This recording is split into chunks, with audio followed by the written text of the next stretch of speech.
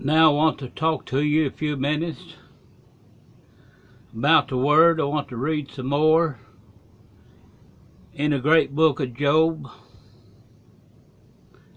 and what uh, the Lord is speaking to Job. He's also speaking to us today. And he's asking Job some questions. And during this time, Job is still suffering from the loss of all his family, all he had, and from the sores or the boils that was on him. But it's also at, he was asking Job questions. But the questions he was asking Job is for us today if we would listen at them. Our most kind and gracious Heavenly Father, it's again we come to you, Lord, to thank you and praise you for another opportunity to get into your word just a few minutes and talk to those I love, to my friends, or to whoever is listening to this short video, that you let these words sink into their heart and in and into their mind and anoint them with your Holy Spirit that we all may understand what you're telling us and listen to the questions and know God is our only hope and all good things, all good blessings come from God and all that we need. And Lord, we won't forget to give you the praise and glory for it all as we ask you for words of wisdom that help us all along the way. In Jesus' name we pray. Amen. Now it's still in the 38th chapter of Job.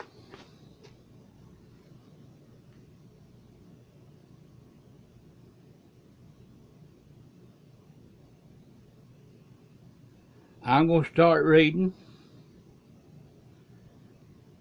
in verse 30. Job, King James Version Bible, chapter 38, begin with verse 30. The waters are hid as with a stone, and the face of the deep is frozen.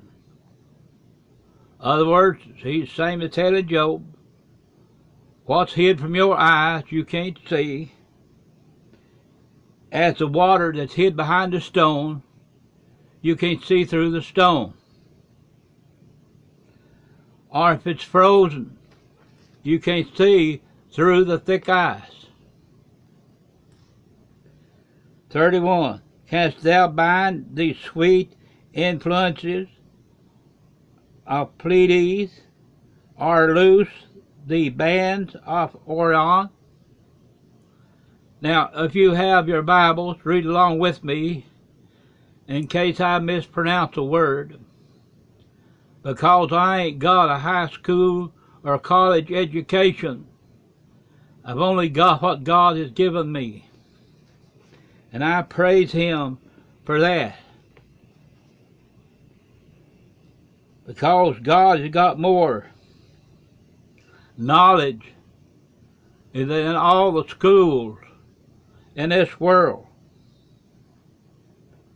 because he's the creator of all things and he knows all things.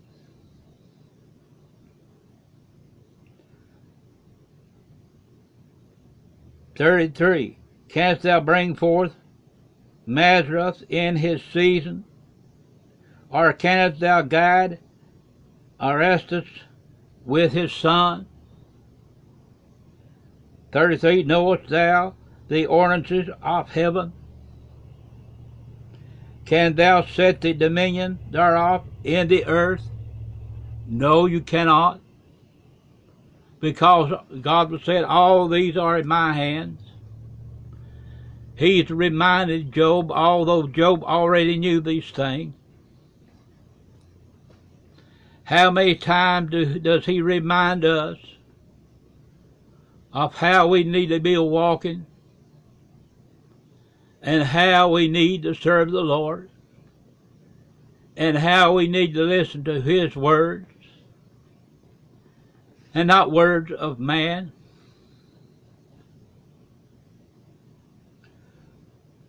Thirty-four. Canst thou lift up thy voice to the clouds, that abundance of water may cover thee? Can you talk to the clouds, and the clouds give you hear your voice and give you rain?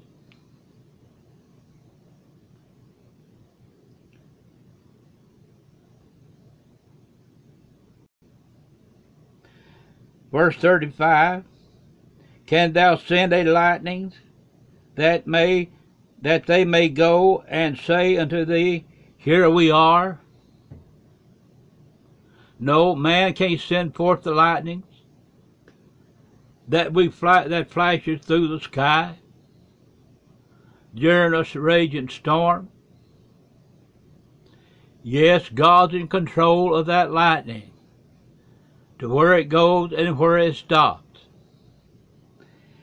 He's even control of the sound.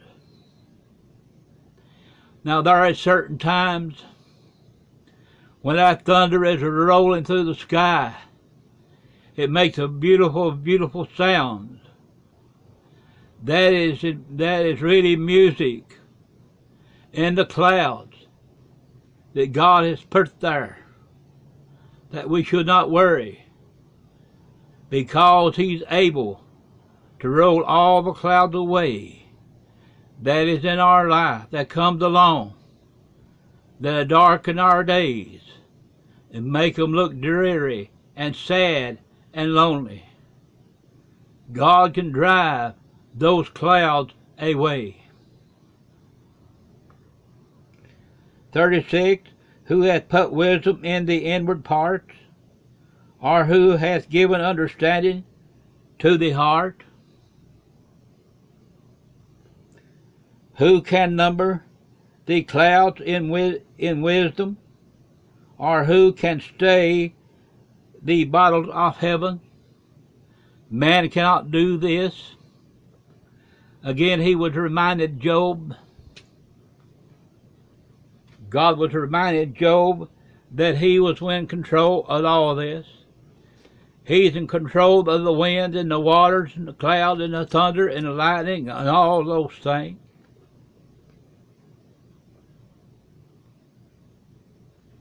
Verse 38 When the dust groweth into hardness, and the clouds cleave, and the clouds cleave fast together, other words, the rain will pack the dust and turn it to hardness,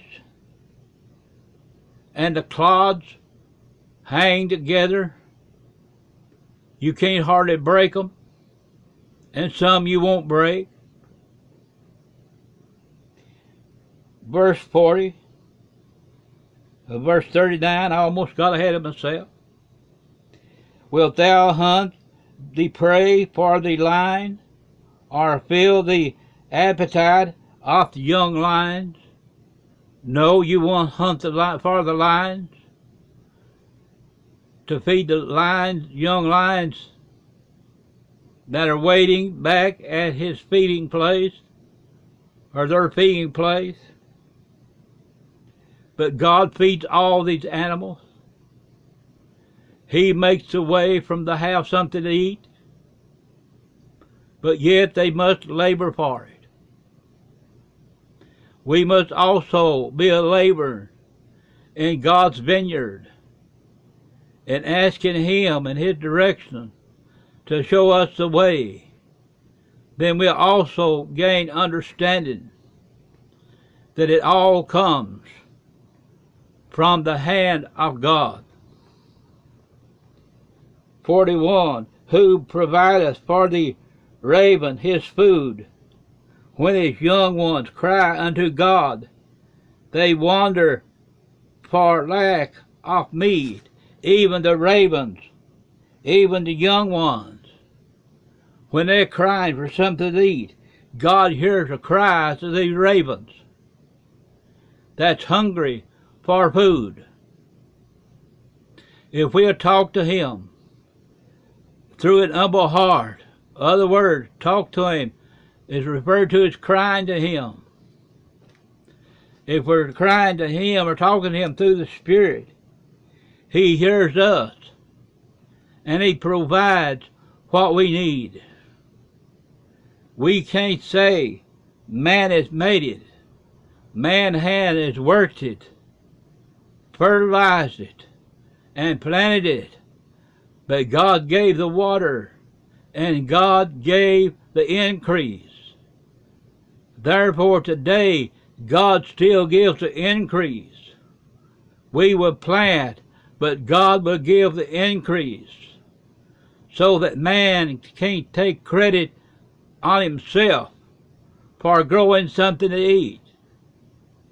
If we can go out in a garden and get a red ripe tomato, let's thank God for that tomato because it was God that made it grow.